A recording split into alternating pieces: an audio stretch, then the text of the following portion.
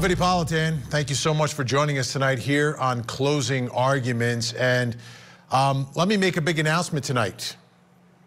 A verdict has been reached already on TikTok and social media in Johnny Depp versus Amber Heard. It's an all overwhelming verdict that Amber Heard is not telling the truth, that she is lying.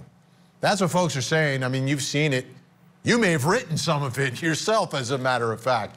Um, but it's really, um, I would say, unprecedented, but it's not unprecedented. I've seen a reaction like this before in cases that I've covered, where um, the, the, the reaction on social media has been extremely one-sided. The last time in a big, big case like this, this social media explosion, was Jodi Arias. And in that case, that overwhelming response of people watching and listening, social media got it right. They absolutely got it right. Jodi Arias was convicted of the murder, and from the moment she opened her mouth on the witness stand to 17 days later when she finally closed it, uh, the, the response was overwhelmingly, Jodi Arias is guilty. Jodi Arias is lying on the witness stand. We can tell. Her lips are moving. Um, that's what happened in that case. But let me tell you, social media is not always in sync with the jury inside a courtroom. There was another case, not going to mention it, not going to put her picture up, not going to give her any publicity tonight. But you know which one I'm talking about. It happened before Jodi Arias, happened after O.J. Simpson, happened down in Florida. There was a little girl who went missing. Her mom never reported it. Her mom ended up facing the death penalty for the murder of that little girl. And overwhelmingly, the response on social media and the folks who showed up at the courthouse was, this woman is guilty. Uh, that woman never testified, though, so we never really evaluated um, her, her testimony, but we did evaluate all the other lies that she told to police, investigators, her mother, and everyone else. But in that case, the jury saw it one way, social media saw it another way. Back to Johnny Depp and Amber Heard. Someone is, is not telling the truth. I mean, which of these two is, I mean, both of, uh, of their testimony is just unbelievable what we're seeing, but someone is not believable. And, and, you know, the jury has to figure it out. That's their job. And, and they will, at some point, render their verdict on which of these two they do not believe.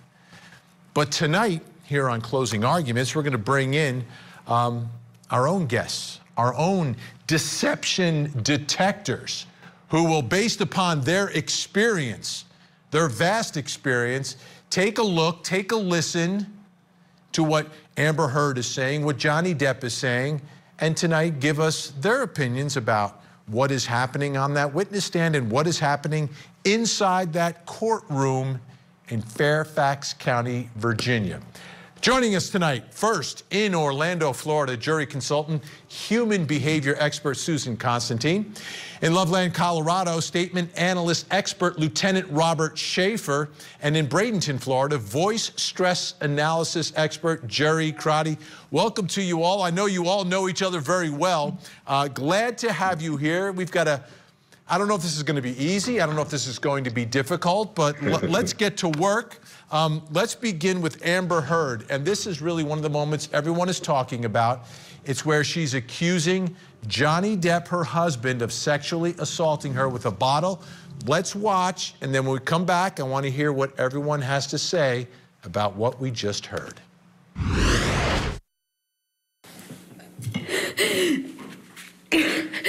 I couldn't.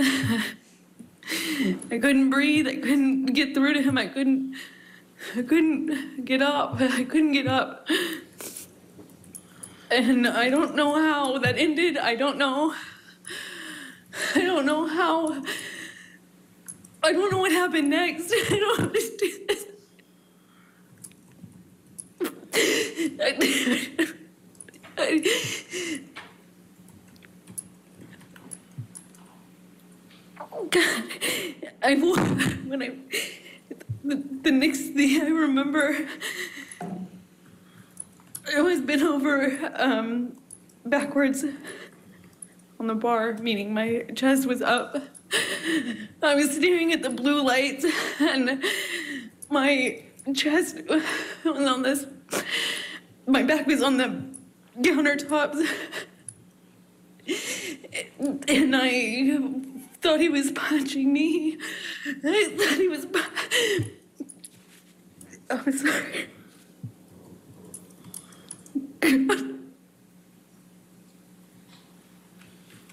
he was. His, I felt this pressure. I felt this pressure.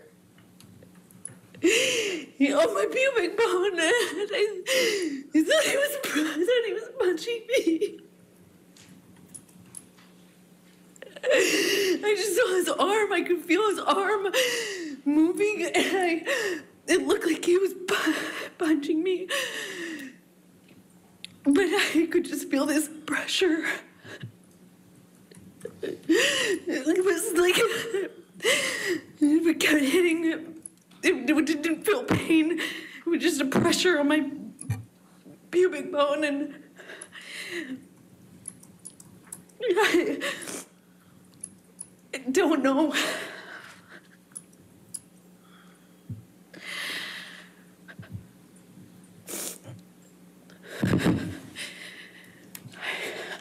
I I don't remember what I said. I just remember being really still, not wanting to move. I remember looking around the room. I remember looking at all the broken bottles, broken glass.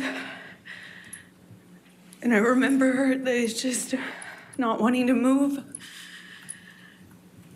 because I didn't know if it was broken. I didn't know if the bottle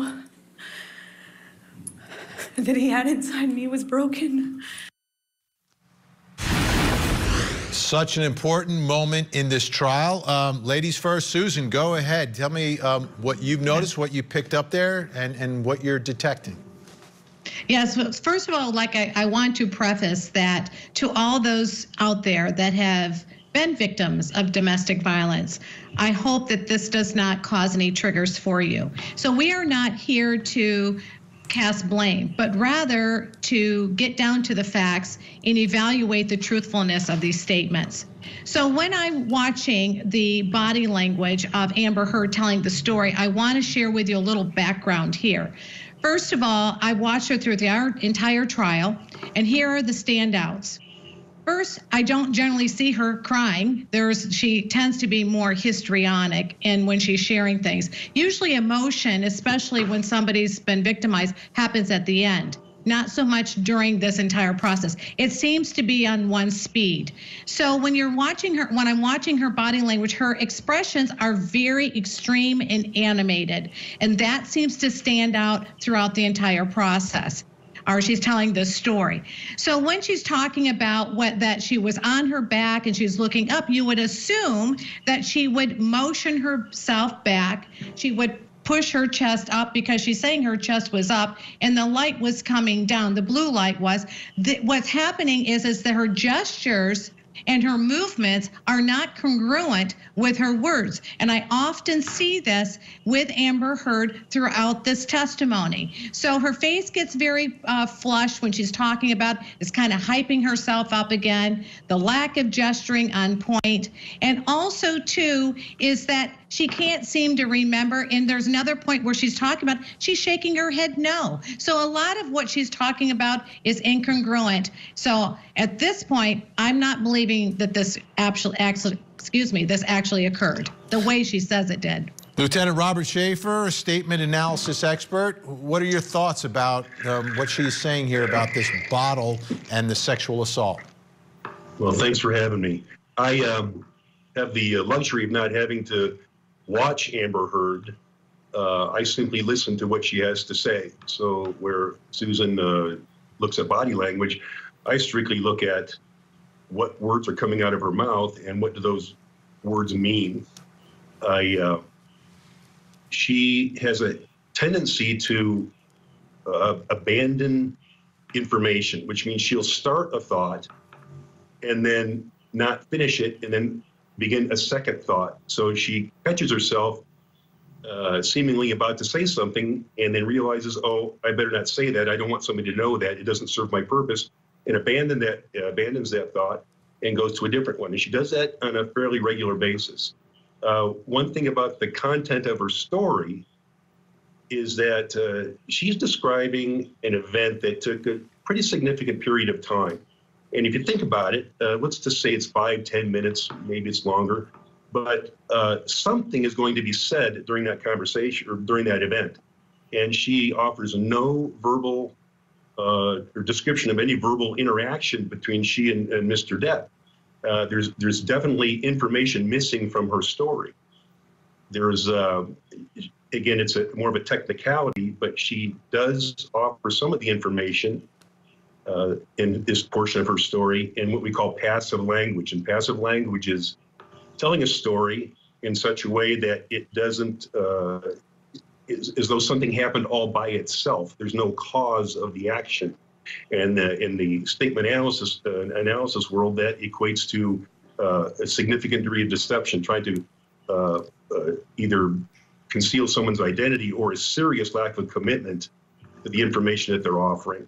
So across the board, when I, uh, if you want to say score her out on this uh, piece of testimony, I'd have to say that her intent is to mislead the listener.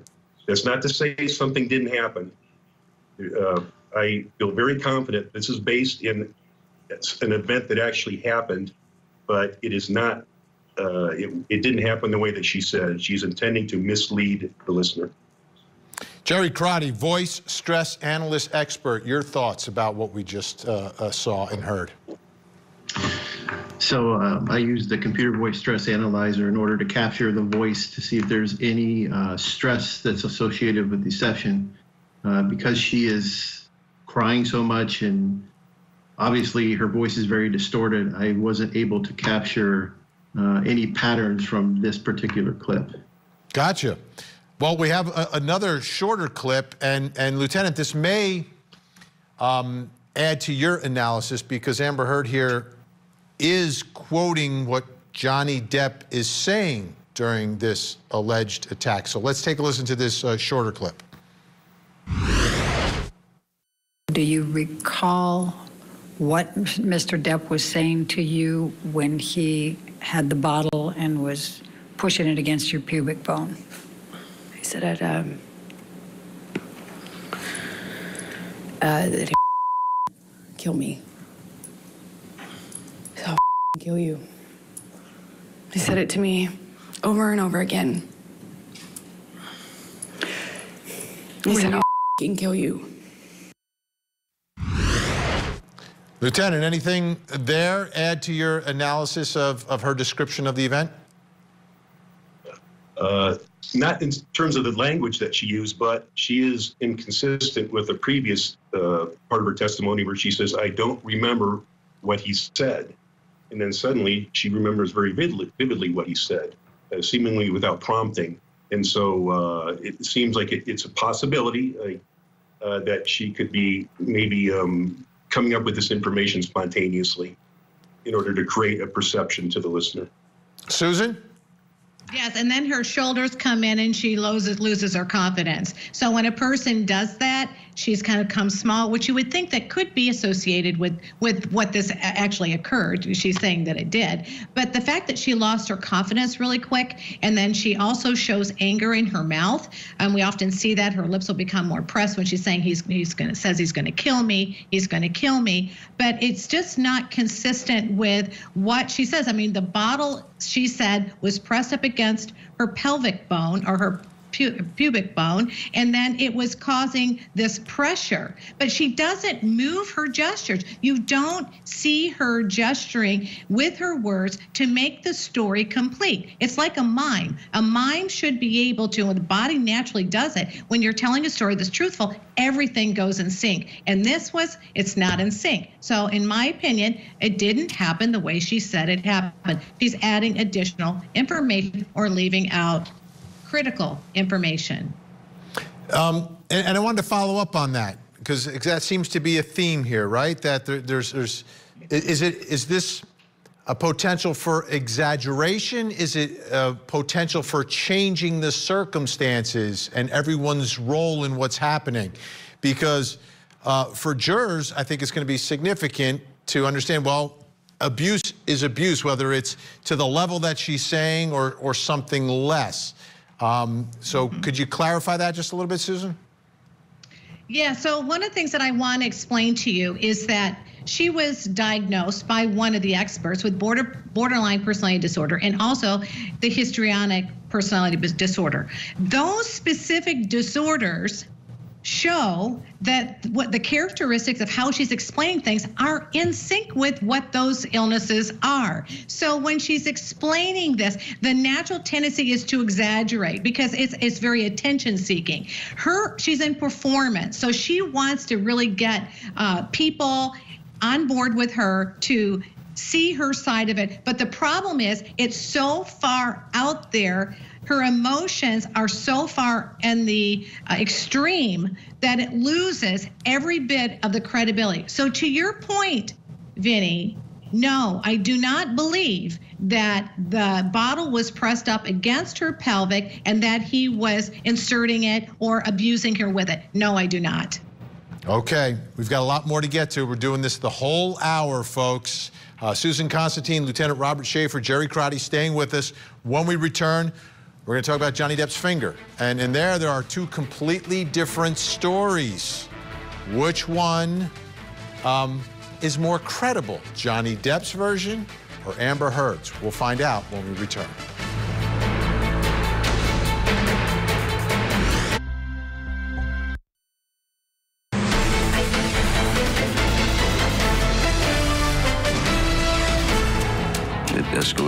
Escalated and turned into uh, madness. She was irate. She, she, she was irate and she was possessed. She, she, she walked up to me and reached and grabbed the, the bottle of vodka and then just uh, kind of stood back and hurled it. I felt heat. Looked down and the tip of my finger had been severed. And I knew in my mind and in my heart, this is this is not life. Johnny Depp describing uh, how he severed his finger. That's his side of the story. Uh, this hour, we're taking a look at the statements of Johnny Depp and Amber Heard and trying to figure out if anyone is being deceptive. We've got our own team of uh, deception detectors with us. Susan Constantine, uh, jury consultant, human behavior expert, Lieutenant Robert Schaefer, statement analyst expert, and voice stress analyst expert, Jerry Crotty. Let's go now. Johnny Depp, once again, explaining to this jury how his finger was severed. And my, my hand is on the edge of the the bar like like that, you know, leaning over, the fingers like that, and uh, she threw the large bottle, and it made contact and shattered uh, everywhere. And I, I honestly didn't I didn't feel the pain at first at all. I felt no pain whatsoever what I felt was um, I felt heat.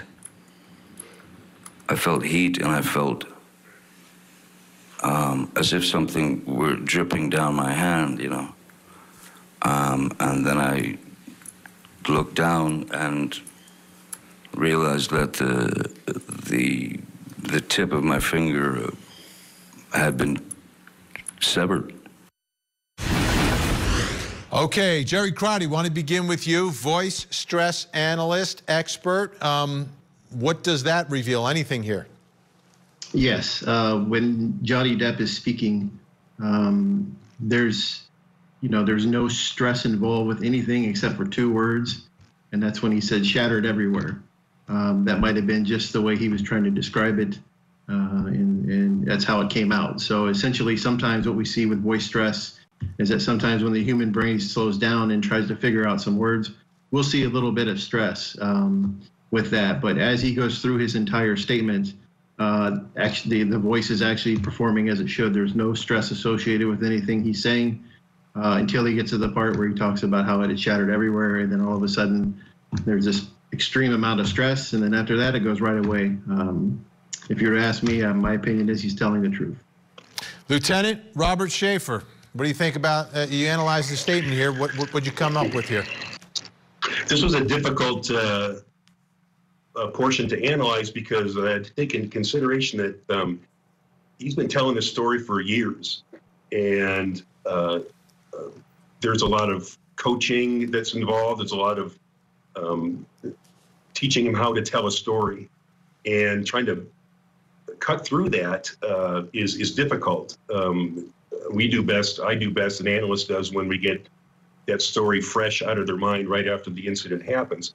Uh, the um, all the other indicators would suggest that his story is from memory and that he is accurately recalling the story from memory and not altering that memory uh, in order to mislead the reader. I, had the impression there was a little bit of uh, uh, he sensationalized things a little bit. I actually looked at the entire uh, portion of that testimony, not just that uh, clip that you showed there. And when we show or we see the extended one, um, there's a, lot of other indicators that he is uh, recalling from memory and uh, um, that uh, his story is generally truthful. There is some embell- little bit of embellishment, some exaggeration, and sens- uh, sensationalizing some things, but his story is generally reliable. Susan mm-hmm. Constantine, what did you see from Johnny Depp in, in, in recalling how his finger was severed? Yes, and so kind of to speak to what Jerry and um, Bob are talking about too, when he's talking about memory, you know, people are telling the truth when they are talking about something that is in the past. They bring the past forward. When they start to speak in present tense, we know that there's embellishment. And here's the other things: everybody lies, Vinny. Everyone does. So in this case, they, they exaggerate a little bit, kind of goes off the scales, and it comes back. But overall, the entire statement, in my opinion, was truthful. So when I'm watching his body language language. He's illustrating about this bottle and it's being flung at him. He's actually making the gestures and he's moving exactly in sync with the words. So what I'm looking at is is he punctuating those words on point?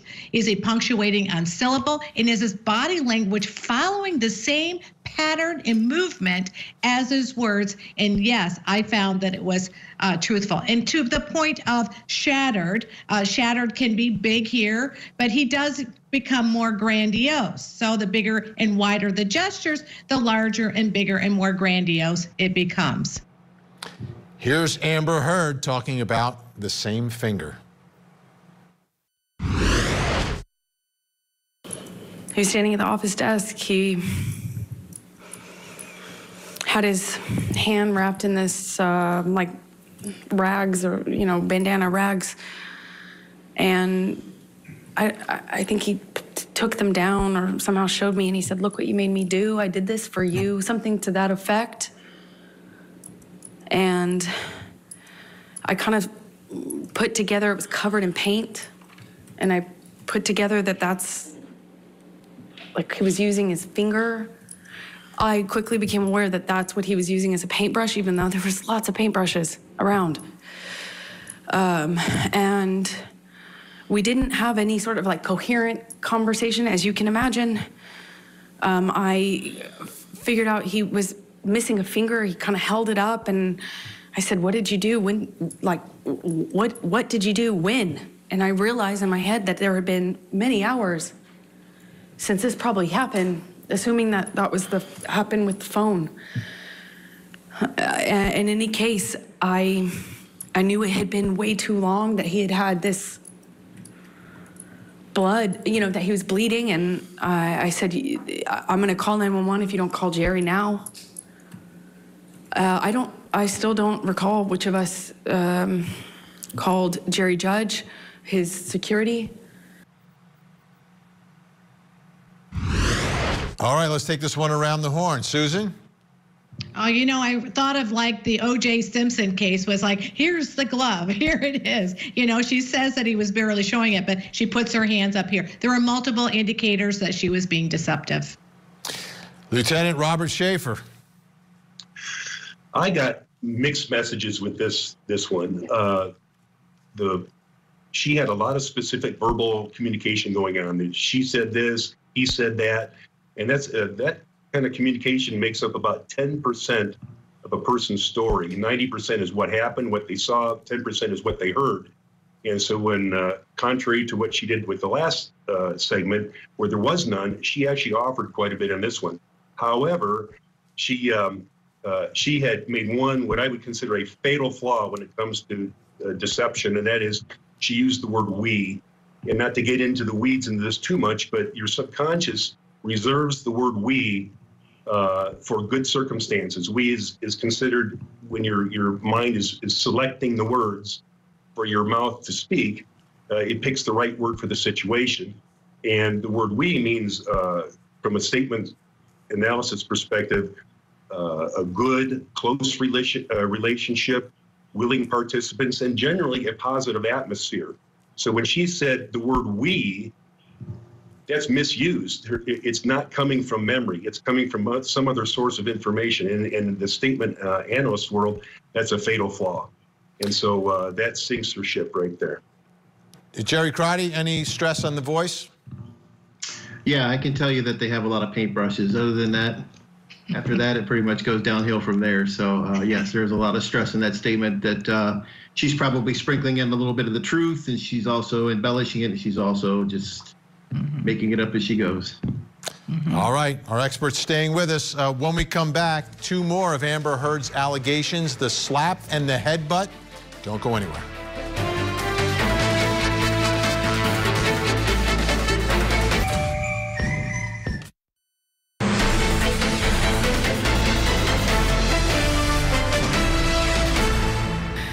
he sits down in front of me at one point and because I'm not answering him, I was looking out of the window and he slaps my face.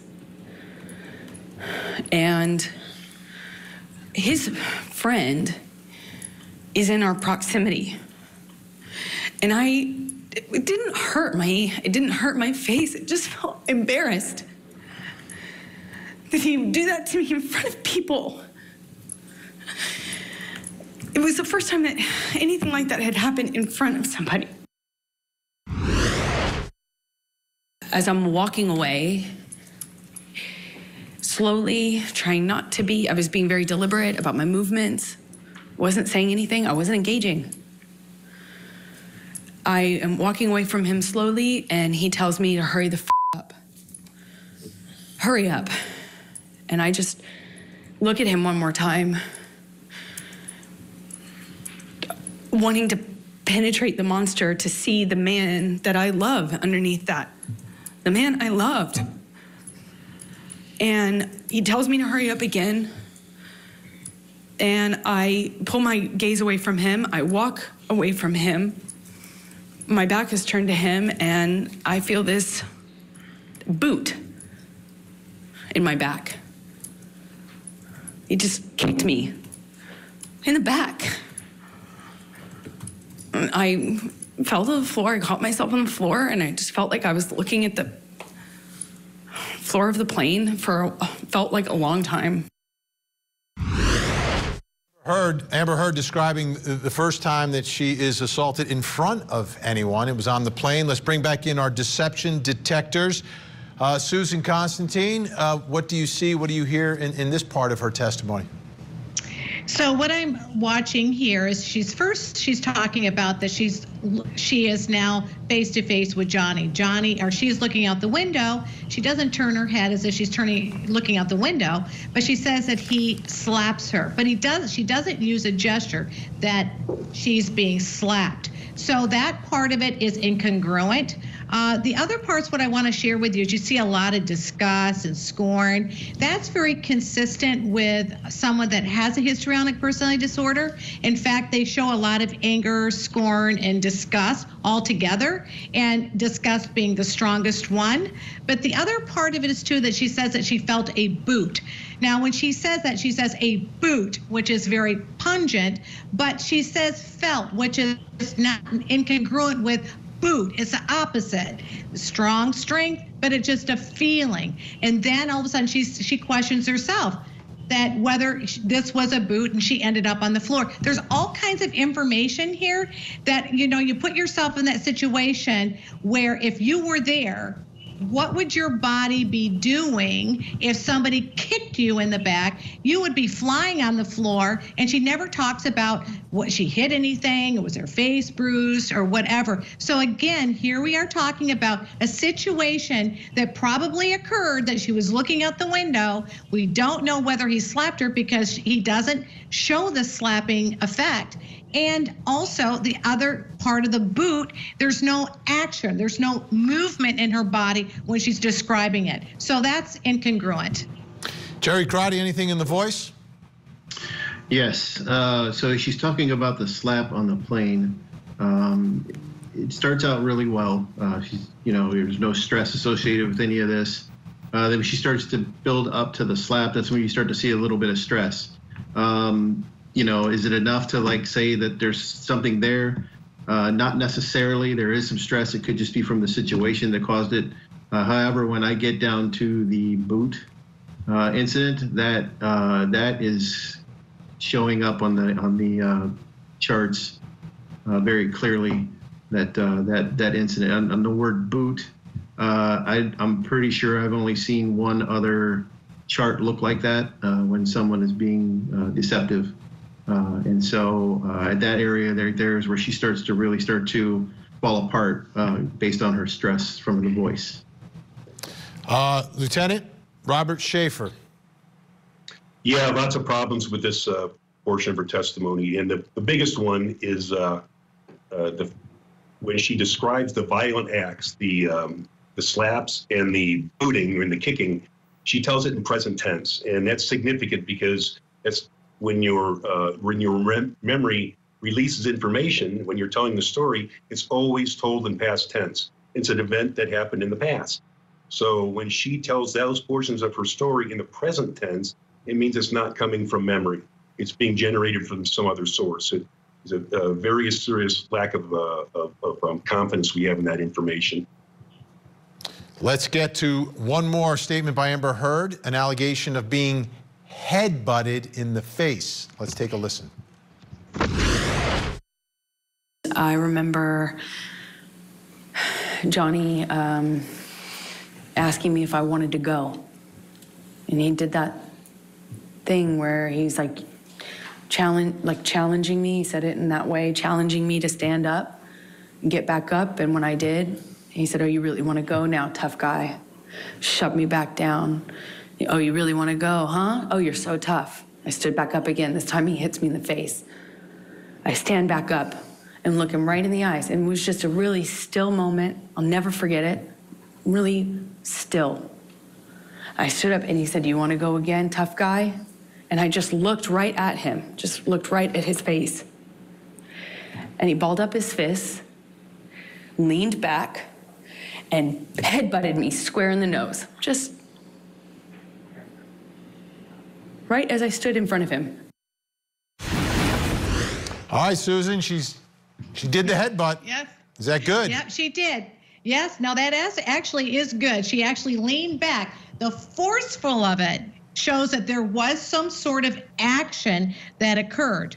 And then she does a grooming gesture. So she kind of takes her hand and she touches her hair, which makes her feel a little bit uncomfortable. But then she talks about um, that, you know, when he's on top of her, he's grabbing her hair. There's no movement with it. Again, he's not grabbing my hair. He's not pulling me along. He's not dragging me along. None of those things, again, are congruent. So I know when I'm listening to this, I think there's some truth to this. Okay, when we come back, Johnny Depp, is he being deceptive? We'll take a look and a listen to a couple of his statements. Don't go away.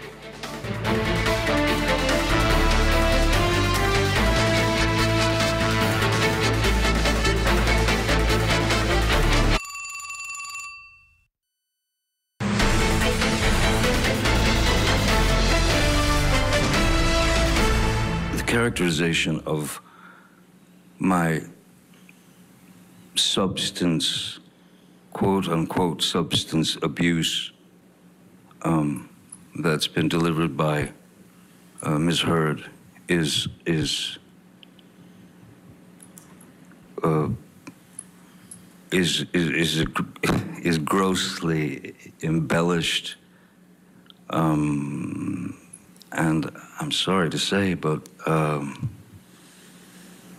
a lot of it is uh, is just plainly false. This is such an important issue here because really the allegations by Amber Heard is that when Johnny Depp is, is under the influence, that's when he does things. He doesn't remember them. He's so far gone. So let's listen to Johnny Depp here talk about his substance abuse issue, and then we'll bring back in our deception detectors. There's been no abuse of substances on film sets. There have been no, uh, there's been no, there's been no moments where I would have been considered out of control. Never. In fact, it's not been mentioned. I'm sure they don't want to mention it, but I remember that because we when I was with Ms. Heard um, and her friends, and we were all drinking wine, um, and I smoking um, marijuana. Um, they would they used to tease me because the, because of uh, what they said was a, a, a ludicrous tolerance because I because I never appeared loaded or high. Okay, let's bring back in our deception detector, Susan Constantine, Lieutenant Robert Schaefer, Jerry Crotty. Uh, Lieutenant, what do you think? I think he's lying. Uh, yeah, um, they might disagree with me, but uh, here's why. From a language perspective, uh, specifically, he said uh, there was no abuse of substances on the film set. That's passive language, and it is completely unreliable. Um, he uh, uh, and most of this testimony revolves around his definition of the word abuse. I'm sure he doesn't view it as abuse. Uh, that's his maybe his way of life, and and maybe he's in total denial. But it, uh, it's his definition of, of what is abuse that um, uh, makes him able to tell a technical truth. It's true by his definition, but probably not by other people's. Jerry, how about his voice? A little stress? Yes, absolutely. Um, it's it's kind of interesting because you know the CVSA uh, kind of works off the inception that the brain was built for survival and not to tell the truth or anything, and so it's it's it's interesting to watch the patterns as they work their way through his statement. Uh, he starts out very stressed out, trying to figure out which words to use. You can also hear him stumbling in the beginning. Uh, and then all of a sudden, when he gets to the substance, he starts to rationalize it. And he starts to basically uh, use terms of like, well, it's not abuse to me. Uh, that's that's exactly what he's trying to say. And then as you watch the patterns go through, uh, you see the, the stress go up and down because as he uh, starts out, he doesn't know how to answer that question. And he's very stressed about it. And then as he starts to rationalize, you start to see the the, the stress begin to dissipate on his uh, on his story. All right, let's get to the final statement. This is a, a big one because this is really what um, the whole case is about. Um, Johnny Depp, does he ever strike Amber Heard? Let's listen. There were um, arguments and um, things of that nature. But never did I myself reach the point of um, uh, striking Miss Heard in any way, nor have I ever struck uh, um, any woman um, in my life. Susan Constantine, I'll begin with you. Oh.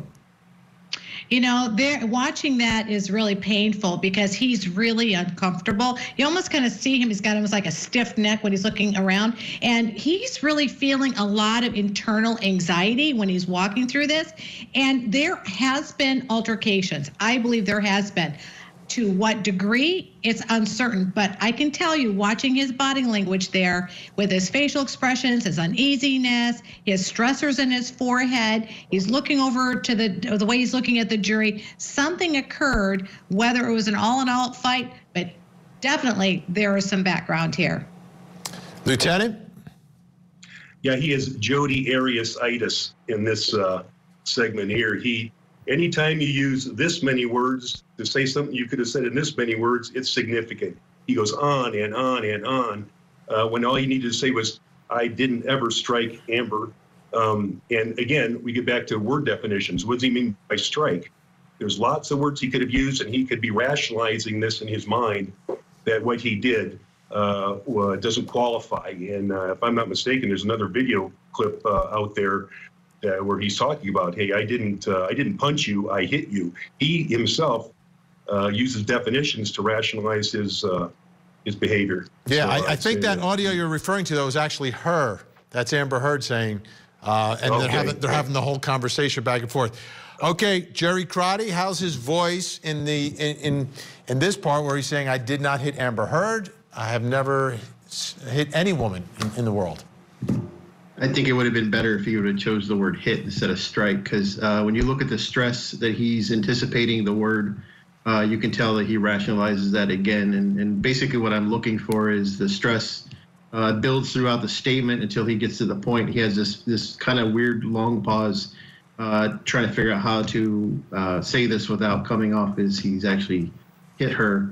Um, and so he uses the word strike, and uh, in in both times he used the words striking and struck, and both of those words uh, caused a lot of stress uh, in his in his uh, statement. Um, but you do see it build throughout up to that point, uh, and then it kind of dissipates a little bit as he's trying to figure out the word, and then all of a sudden, when he gets to the word, it still bothers him that he has to use that word. Fascinating hour. Susan Constantine, Lieutenant Robert Schaefer, Jerry Crotty, thank you so much um, for, for joining us tonight. Your time is valuable, your insight is incredible. Um, we'll see you again real soon. Thank you so much. Thank you. Thank you. Okay, folks, when we come back um, next week, Monday, back on the stand. Amber Heard will be back on the stand and eventually facing cross examination. Could happen as early as Monday afternoon. What is that going to look like? What is that going to sound like? Will it look anything like her deposition? Think Tank next.